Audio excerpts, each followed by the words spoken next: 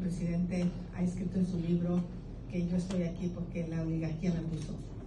Pues digo, la verdad es que no sé dónde estaba la oligarquía cuando llegué a la Ciudad de México a vivir un cuarto de la mina. Este, ni siquiera tenía la posibilidad de salir adelante. Eh, la verdad estoy aquí por mi mérito personal.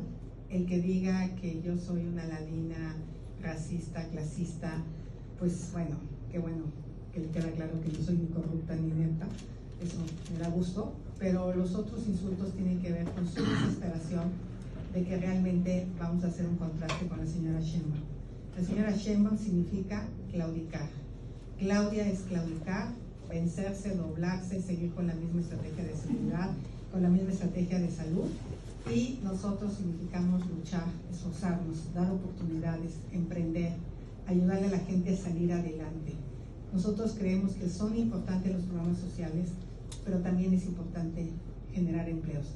También es importante que la gente estudie, que la gente se supere, que la gente tenga oportunidades para salir adelante. Yo estoy convencida que la gente puede salir de la pobreza. Estoy convencida.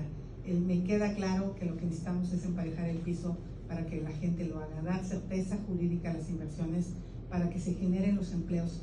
Hoy México podría despegar a una velocidad impresionante con el nearshoring y la estamos desperdiciando en el odio, en la división, en la falta de certeza jurídica, en la falta de energía limpia, en la falta de infraestructura eh, de puertos, aeropuertos, este, carreteras, trenes para el desarrollo económico de nuestro país.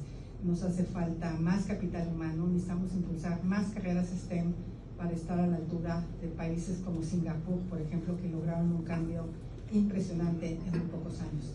Entonces, pues yo lo que les quiero pedir es que corran la voz. A lo mejor ustedes están acá en Madrid, pero sí pueden animar a su familia, a hacer sus chats, a hacer sus redes de social a convencer a sus amigos, a participar en las redes sociales. Ellos le meten todos los días 8 millones de pesos para atacarnos, es lo que estiman los estrategas. Eh, yo no tengo esa cantidad para pagar bots, pero los tengo ustedes. Los tengo ustedes para que se vuelvan mis seguidores, para que estén en las redes sociales, para que compartan el contenido. Eh, tenemos contenidos que tienen muchos millones de vistas sin pagar un peso. Gracias a que ustedes nos siguen, gracias a que ustedes comparten, gracias a que ustedes son parte de esta, eh, de esta propuesta y pues me encanta que estén aquí en un domingo en la tarde en Madrid. Este, que bueno, no sé si vayan a ver el Super Bowl, pero si hubiera sido esta hora seguro, no sé si hubiera podido llegar. Eh, pero pues la verdad es que ahora me gustaría darles la palabra para poderles responder algunas preguntas, inquietudes que tengan ustedes. Muchas gracias.